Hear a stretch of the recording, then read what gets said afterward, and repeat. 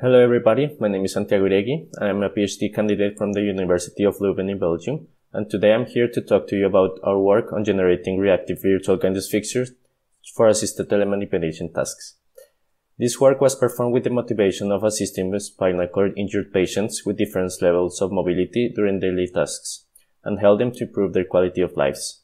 The assistive strategy that we are going to present was developed within the constraint-based task specification and control framework ETASL, whose reference you will find at the end of this talk. In order to understand the properties of the reactive virtual guidance fixture, let's first start by observing its behavior in a human-in-the-loop simulation. The green sphere, which is controlled by the human operator through a 3Dconnexion SpaceMouse, represents the position of the end effector of a robot. You can observe that the human can drive the end effector freely inside the volume of a yellow tube-shaped virtual fixture. Outside this volume, an impedance attracts the end effector of the robot towards its interior, resulting in effective guidance of the operator towards the goal. The proposed virtual fixture reacts by adapting its shape for two different purposes, to comply to changing goals while snapping to intended targets, and also to guide the operator through a collision-free volume by avoiding dynamic obstacles.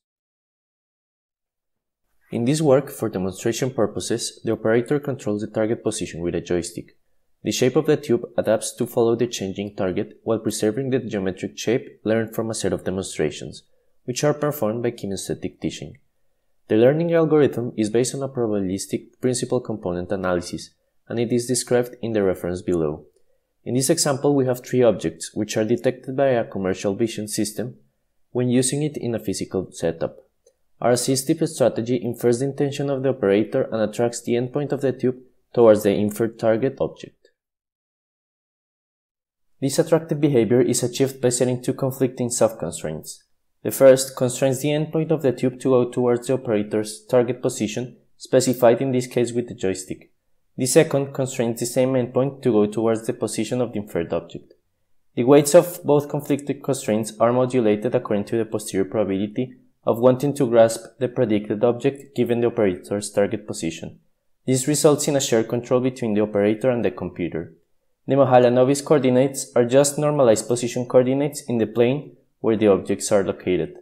You can observe how the control regions look like as a consequence of the Bayesian intent estimation algorithm and the aforementioned modulation of the weights.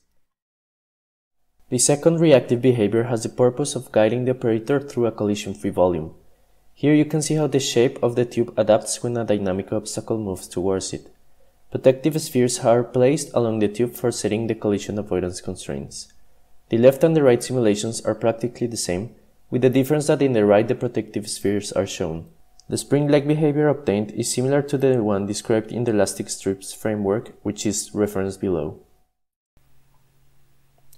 Here you can see how a human operator controls a 7 degree of freedom robot arm with assistance of the reactive virtual guidance fixture. The orientation of the end effector is autonomously shifted from an initial to a final orientation. This is achieved by setting the orientation as a function of a normalized path variable s which indicates the progress of the end effector along the tube. Now, imagine that a thirsty operator wants to grab a drink from the fridge. The commercial vision system detects a beer, a juice, and a milk, and provides a picking pose for each. Obviously, the operator decides to go for the delicious beer and indicates it by means of the human-machine interface, in this case for demonstration purposes the joystick. Afterwards, the operator decides to grab also a granadilla, a delicious fruit found in Colombia.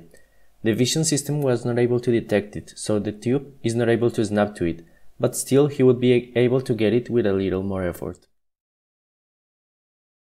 Here you can see how the operator is guided to the target in the presence of a dynamic obstacle. Protective spheres are also placed in the tool so that the operator is not able to move the robot out of the tube in the direction of the obstacle. In a later phase of the project, we plan to perform clinical trials in a physical setup for validation. We expect that operators with different levels of mobility are able to control the robot with a significant reduction of effort and previous training. In addition, different human-machine interfaces are being explored to be used in combination with our framework. For example, a novel visual-motor brain-machine interface that is being developed by our project partners. Finally, I'd like to thank you all for listening and wish you a very nice day.